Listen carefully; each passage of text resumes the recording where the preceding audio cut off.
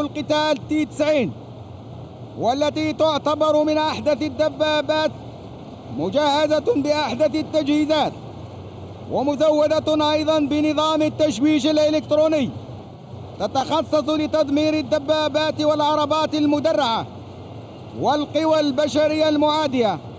لديها قدرة عالية على المناورة مزودة بمدفع عيار 125 ملم وطلقة صاروخ من طراز انفار وبرشاش خفيف ورشاش مضاد للطائرات. ومنظومة للحماية الديناميكية من الصواريخ. وقد أثبتت هذه الدبابة جدارتها في مختلف المناورات.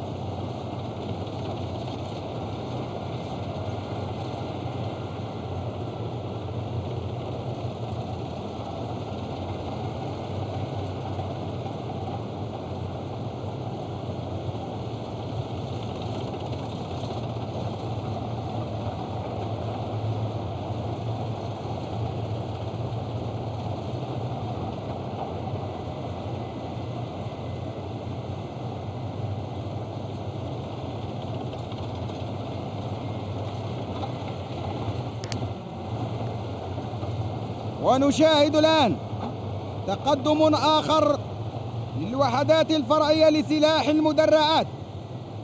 BMPT ذات القدرة العالية على المناورة مزودة بأسلحة قوية وفعالة وأجهزة متطورة لقيادة النيران وبحماية ديناميكية مدرعة ضد الوسائل المضادة للدروع تناور بجانب المدرعات وتسندها خلال مختلف أنواع القتال في جميع الأراضي وخاصة منها المناطق الحضارية وهي مزودة بمدفعين آ 42 ورشاش مو ورشاشان موازيان وبقاعدتين لإطلاق الصواريخ الموجهة كل قاعدة بها صاروخين من نوع أتاكا وبقاذفي قنابل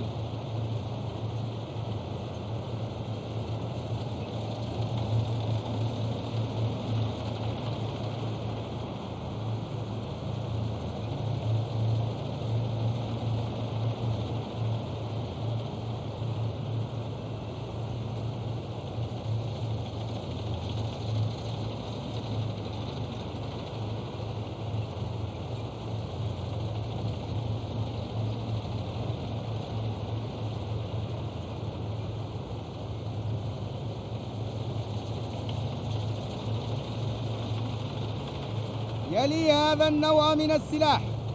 سلاح آخر لا يقل أهمية عن الأول وهو سلاح المشاة الميكانيكية.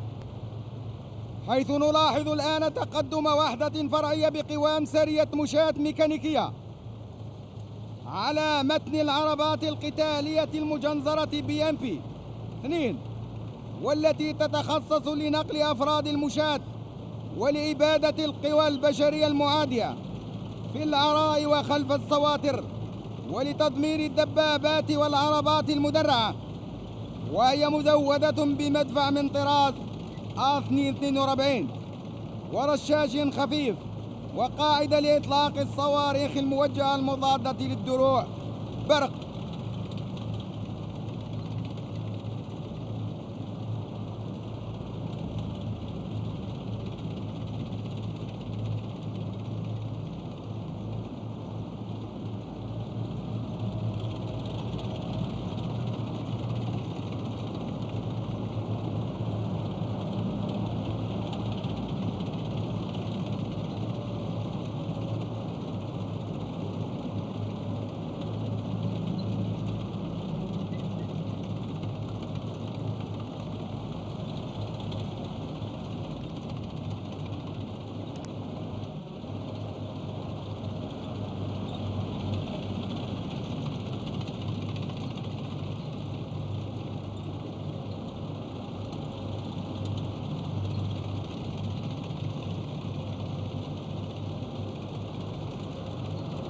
يليها تقدم رتل وحدة فرعية بقوام سرية مشاة ميكانيكية.